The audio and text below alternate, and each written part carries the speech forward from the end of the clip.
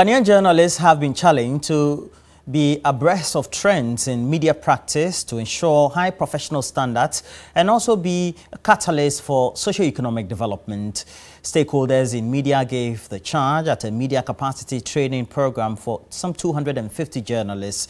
We bring a report by Beatrice Biogabra. The fast-paced and competitive nature of Ghana's media industry means media practitioners need to be abreast of new trends and changes it is for this reason that some 250 journalists across the country will benefit from a one-week national media capacity enhancement program.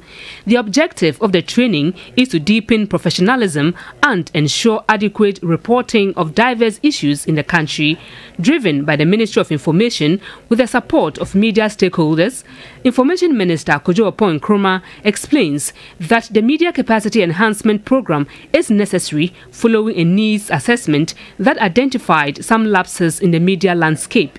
The assumption that media necessarily has the capacity to handle all matters that pop up daily, from archaeology to zoology, only because we have a pen or a microphone is false. This falsehood is further aggravated by the reality that a significant proportion of practicing journalists are not recruited because they have graduated from prior journalism training institutions. Some of the journalists participating in the training spoke to TV3.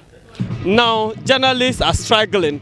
Even our media houses are not organizing training for us. So this is an opportunity for all media houses to actually upgrade their, the skills of their reporters and their cameramen. We have a lot of journalists in the country, but you see, we are starting from somewhere. 250 may not be enough but it's a stepping stone. U.S. Ambassador to Ghana Stephanie Sullivan noted citizens will be better served with rounded fact-based reporting. It's been said that information is the currency of democracy, and that's where you, the journalists, come in. Your role as journalist is fundamental to public debate on key issues. With a stroke of the pen, you can highlight a public problem or injustice you can show people how public policy is working or isn't working.